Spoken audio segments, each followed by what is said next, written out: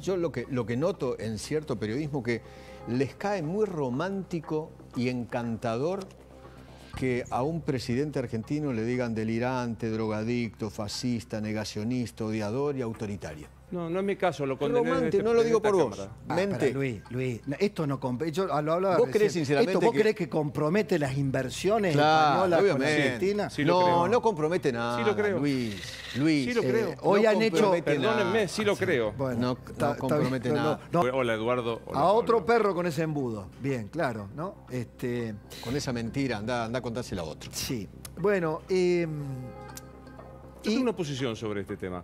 Eh, días, Luis Lacalle Pou, el presidente del Uruguay, en un discurso que recomiendo mucho en la Fundación Libertad, Sí, mucho, sospecho que no será acusado trotskista, no, Lacalle Pou, para nada. citó algo que seguro Eduardo te pasó en la facultad, o, o Pablo, que era, te enseñaba en Derecho Internacional Público, no hay países amigos o países enemigos. Mm. Hay países con intereses comunes o países sin intereses comunes. España es el segundo inversor privado eh, de todos los países del mundo la Argentina.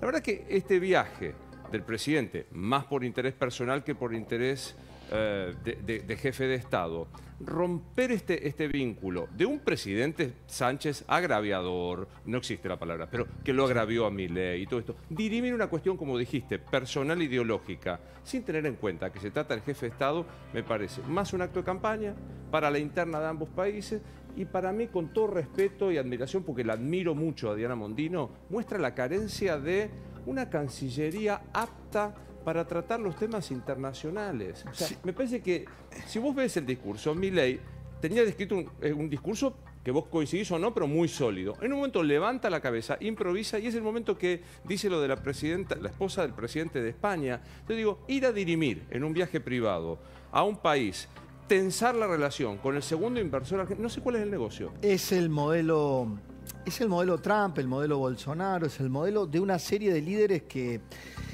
Eh, Desde la lógica del presidente Milei es, che, este presidente y su gobierno me atacó personalmente. Tengo me derecho a defenderme. drogadicto. Tengo el derecho a defenderme. el derecho del mundo Sí. A decirle en la cara Sí. lo que yo pienso. que rompe, que rompe el manual ¿Por de qué esa te escuela. Es Solamente en de salita roja. sí, sí, sí, sí. Diplomata- Señorita, señorita, mi, mi- señores, es un estadista, Luis. es un jefe de Estado, nos conviene o no. O sea, pero, ah, porque él me insultó, yo lo insulto. Eso no se Desde el deber ser, mira, lo estamos discutiendo a mi ley, Ah. o, o- o en todo caso, ¿cuál es la polémica interna en la Argentina? ¿El deber ser del republicano? Bueno, no cumple con el deber ser del republicano, se pelea. ¿El deber ser de jefe de Estado? política no. que hemos conocido en los 40 años, No. no, entra. rompe, la rompe no internamente, la rompe internamente y la rompe afuera. Porque no deja de ser el mismo adentro que afuera. O sea, eh, eh, eh, digo, tómalo, déjalo. No obstante, yo estoy de acuerdo que, decir, señores, está la investidura, debería ser así el presidente. Ahora, digo, lo tomo, lo tomo como una posición válida. Ahora, hicimos el, el- el balance o la evaluación de los agravios. Porque esto también es cierto. Y un periodista que habló con vos, este, el ex Vieito Ruido. Dieguito Ruido, me encantó cuando hizo el inventario de memoria de, y esto es importante, todos los insultos que le profirieron al rey de España, a los anteriores jefes de gobierno de- del gobierno español, como Rajoy, como Aznar, Si llegaste hasta acá, no te olvides de suscribirte, darle like y activar la campanita. Distintos otros gobiernos. distintos otros presidentes. Chávez, Maduro.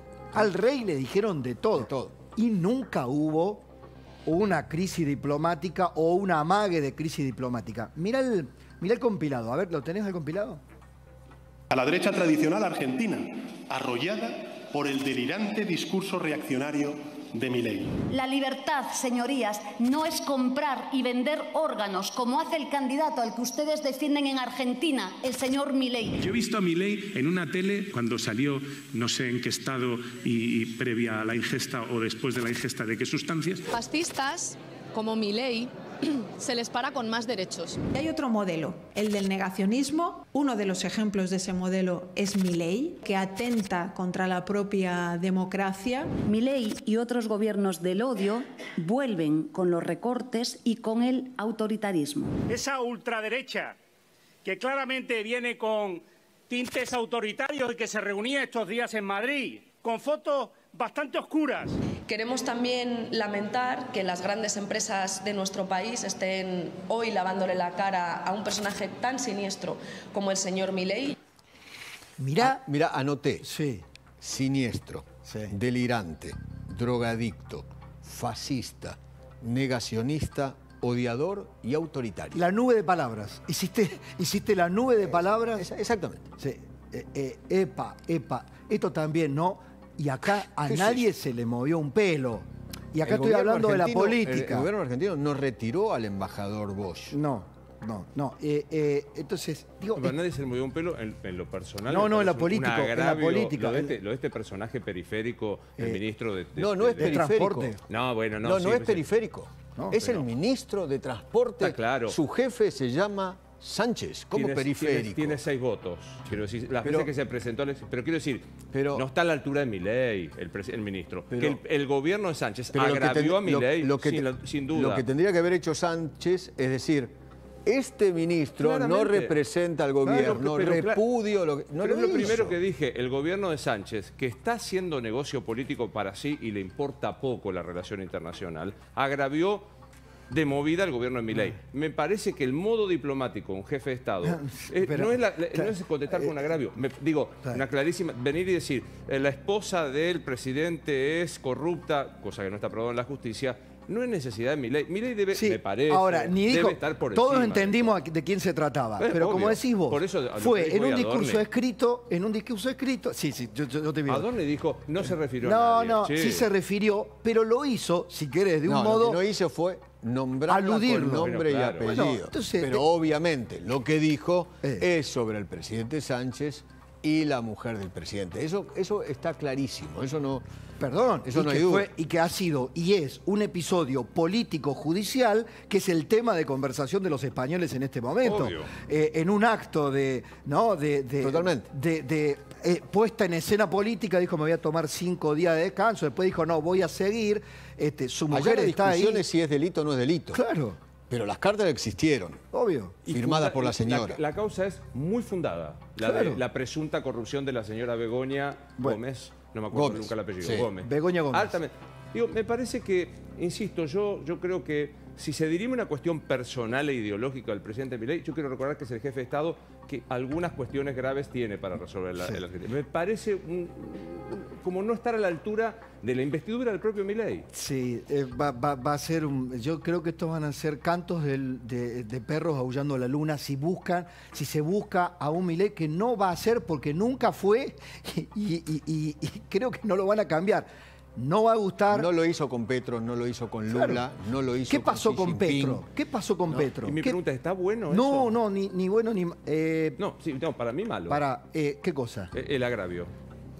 Para mí malo. Eh, Digo, si Cristina Kirchner dije- hubiese dicho, eh, la esposa de Aznar es una Cada corrupta", día- estaríamos gastando media Cada hora- día, eh, si, eh, si hubiera dicho, si lo hubieran agraviado de esa manera, yo lo digo, a mí no me gusta. Ahora, ¿se defendió de agravios eh, anteriores? Sí. Listo. Eh, no, no es el caso. A ver, los populistas de izquierda latinoamericanos se cansaron de agraviar. Bueno, los agravios de Maduro, ¿no? Se cansaron de agraviar Porque cae romántico. Yo, yo, yo lo, que, lo que noto en cierto periodismo que les cae muy romántico y encantador que a un presidente argentino le digan delirante, drogadicto, fascista, negacionista, odiador y autoritario. No, no es mi caso, lo condené. en este- no lo digo por vos. cámara. Digo, yo noto que hay como, ¿no? Eh, bueno, es romántico, bueno, la izquierda es así, ¿no? ¿Por qué la izquierda es así? No, no. ¿Por qué la hay que bancar? ¿Por qué? ¿Por No, qué? ¿Por qué no. hay que La bancar? izquierda es autoritaria, antisemita, ¿Por qué? eh, agraviante. Dicho esto, el modo de resolver un conflicto con un país que es el segundo inversor en la Argentina es escalar Pero el Pero no, para, para, para, Sinceramente- para, Luis, Luis, no, esto no. Yo lo hablaba ¿Vos crees sinceramente ¿Esto vos que- crees que compromete las inversiones Claro, españolas con. Argentina? Sí no, creo. no compromete nada. Sí lo creo. Luis, Luis. Sí lo creo. no Hoy han hecho- compromete nada. Perdónenme, sí lo creo. Bueno, No, compromete nada. no, Mirá, pero- primero el capital Sí, es. no tiene sentimientos, Ni patria, ni ideología, ni patria, ni patria. ni- exacto. ¿Vos te crees que son fanáticos de Sánchez, de No. Milei? No, claro pero han salido, no. no, pero está muy bien, porque hoy tomando, tomando una intersección para unir con Luis, hoy salieron, ¿no? Hola, Sofi. Hoy salieron a decir qué barbaridad. Presionados por el gobierno. Claro. Lo, llamaron, lo llamaron del gobierno y dijeron. Como "¿Salí a hacía decir algo?". Cristina, como hacía Cristina. Che, le estás poniendo plata a, ful- a aquel canal o a aquel periodista o a tu empresa está financiando. Salí ya a decir. Eh, ah, eh, Pedro Sánchez ha hecho exactamente lo mismo. Que no me vengan a decir que el Banco Santander va a levantar sus inversiones en la Argentina por este agravio, entre comillas, a la mujer de Pedro Sánchez. Eso sí que no lo creo. Pero puedo preguntar de fondo la cuestión. ¿Está bueno que un jefe de Estado argentino se ponga a la altura de un insultante y grosero Pedro Sánchez? Quizás no estuvo bien. No, eh, quizás Bueno, no es mi única bien. objeción. Para eso, sa- ¿sabes qué hace falta? Quizás no estuvo bien. Diplomacia profesional. Sí, bueno. Bueno, lo que política que. profesional.